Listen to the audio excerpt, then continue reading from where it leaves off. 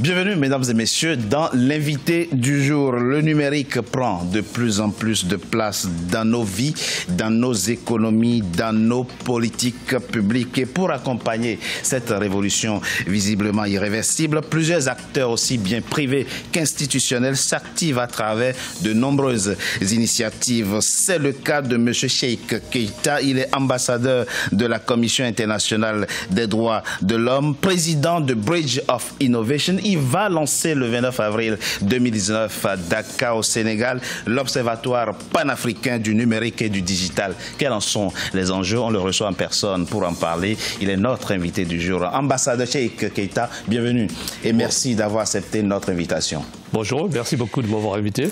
Vous vous apprêtez à lancer le 29 avril à Dakar l'Observatoire panafricain du numérique et du digital. Quels en sont les enjeux? Pourquoi un observatoire du numérique et du digital? L'enjeu est grandiose pour l'Afrique. Vous savez, aujourd'hui, nous avons euh, deux côtés euh, complètement différents. C'est-à-dire que vous avez l'Afrique, qui est en face du monde et qui a un marché potentiel. Et vous avez les autres pays où se trouvent les GAFAM, c'est-à-dire les grands mastodons, les grands de l'Internet, qui régulent le marché, qui ont leur euh, potentiel, qui ont leur savoir, qui ont leur force de frappe. Ils sont riches, ils ont leurs euh, moyens de travail, ils ont leur façon de travailler, qui rentrent en Afrique sans, taper à la porte. Donc finalement, nous devons voir que finalement cette révolution Internet est intéressante pour l'Afrique, importante pour l'Afrique. Pour cela, il faut pouvoir euh, mettre en place une institution, une structure euh, qui peut apporter de l'efficience aux États pour contrôler tout ça. Vous savez, nous sommes en face d'un défi tellement important, tellement grand. Nous sommes aujourd'hui en face de quelque chose qui est aussi important, c'est-à-dire les fake news, toutes ces fausses informations et aussi la cybercriminalité. On ne le dit pas tellement assez. L'Afrique est victime de la cybercriminalité. C'est des millions de dollars qui s'évaporent chaque jour, chaque mois, chaque semaine en Afrique. Et votre observatoire que vous vous apprêtez à installer à Dakar va permettre aux, États individuellement de pouvoir cerner ces différents enjeux-là, notamment les enjeux liés à la cybercriminalité. Criminalité L'Observatoire va être en face de plusieurs défis. Le défi humain, le défi technologique, le défi de la régulation, et le défi euh, de voir comment les États vont prendre en charge cette révolution et cette vitesse de croissance numérique hein, pour essayer de réguler. C'est-à-dire, nous allons conseiller un Patriot Act euh, numérique, numérique hein, pour que finalement les États qui contrôlent leur domaine de régulation, qui contrôlent notre souveraineté, disent aux GAFAM, euh, vous rentrez en Afrique, c'est très bien, nous devons nous asseoir pour parler ensemble, pour créer une sorte de complémentarité, pour qu'on régule ça, pour qu'on puisse taxer euh, ces flux, afin de créer des grandes écoles hein, qui pourraient nous aider à former nos futures élites hmm. euh, dans la technologie numérique. Ce que vous dites, ambassadeur Sheikh euh, Keita, comporte deux dimensions. la révolution numérique qui est aujourd'hui irréversible, à, à laquelle de toute façon l'Afrique doit participer, puis la nécessité de se protéger. D'abord, quel est aujourd'hui l'état des lieux? Quel est le degré euh, de, pénétration de l'Afrique euh, dans cette révolution numérique quand on sait aujourd'hui que le numérique constitue plus d'un quart des échanges? L'Afrique a bougé. L'Afrique est un marché le plus important du monde dans le numérique. Je vais vous donner un exemple. S'il vous plaît.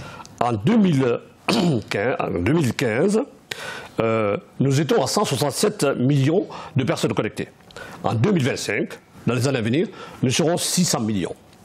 Euh, la contribution Internet au PIB des pays africains, en 2013, était de 18 milliards. En 2025, ça sera 300 millions euh, de dollars. 300 milliards de dollars. Euh, la communication en Afrique sur les téléphones et le filaire et le mobile, le mobile a dépassé le filaire. Nous sommes à 90% dans le smartphone dans le mobile. Et en 2025, nous serons à 360 millions d'utilisateurs. Voilà le défi. Et donc le, numérique est bénéfique, finalement. Le numérique est bénéfique à tout, point de vue, puisque finalement, nous sommes dans le numérique. Tout le monde fait du numérique. De toute façon. Vous faites le numérique, je fais du numérique. Pourquoi? C'est parce que vous avez un téléphone dans la poche.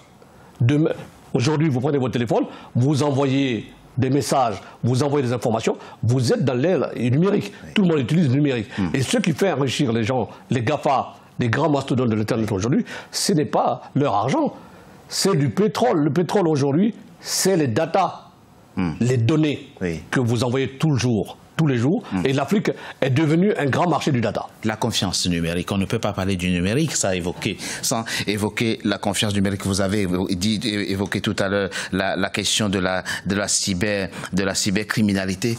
Comment les États peuvent-ils aujourd'hui assurer leur cybersécurité? Est-ce qu'ils sont aujourd'hui véritablement en situation, tout en entrant dans le, numérique, tout en rentrant dans cette révolution numérique, de se protéger, protéger leurs données? Oui, aujourd'hui, l'Afrique a avancé beaucoup, mais le problème, ce qui pose le problème, c'est que nous avons le serveur, nous avons assez de data qui ne sont pas en Afrique. Donc quand on parle de souveraineté, il faut avoir la capacité de gérer et d'avoir les data chez vous. Euh, demain, si vous avez beaucoup d'informations qui sont des informations euh, essentielles pour Essentielles, c'est ça, et stratégiques. et qui résident à l'étranger, ben vous ne pouvez pas parler de souveraineté. Mais comment se protéger, ambassadeur, quand on sait que même les Américains ne sont pas à l'abri, même les grandes puissances ne sont pas à l'abri des cyberattaques? Non, il n'y en a pas de, protection pour une limite 0-0 dans, dans le numérique. On apprend tous les jours, les ingénieurs travaillent tous les jours. Mais ce qui est clair, c'est qu'il faut prévoir euh, la prévision des choses. pour gagner une guerre, il faut bien préparer la guerre. Hmm. Nous avons aujourd'hui des ingénieurs capables euh, de travailler pour pouvoir cette possibilité-là. De jeunes qui innovent et qui créent des start-up, effectivement. Et de protéger nos pays. L'Afrique à 70% de capacité de création aujourd'hui que tous les pays du monde au niveau innovation, au niveau création.